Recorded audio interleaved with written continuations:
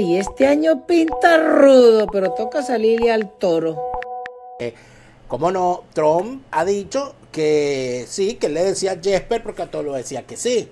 Pero eh, cuando Trump dice eso, nos revela entonces que el Señor le decía a todo que sí, pero Trump no se encargaba de verificar si el Señor cumplía con las encomiendas. Y parece ser que entonces este tipo, siendo el secretario de defensa, se convirtió en la principal, en la principal, bueno, el principal palo en la carreta de los objetivos de Trump para arremeter militarmente contra los enemigos de los Estados Unidos. Por lo menos eso es lo que queda, eso es lo que queda en evidencia, por lo menos en este momento, ¿no?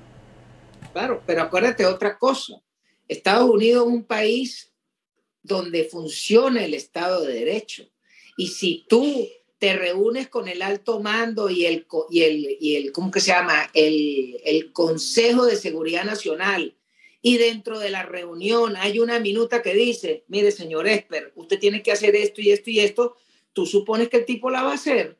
De hecho, cuando le queman ese culo es porque lo agarraron movido, en la, movido entre primera y segunda y le dijeron, tú no hiciste esto. Ay, no, no quise, así, fuera de aquí. Pero ya era muy tarde sobre todo porque, no, porque lo que quedaba era ver qué se iba a hacer para la segunda elección.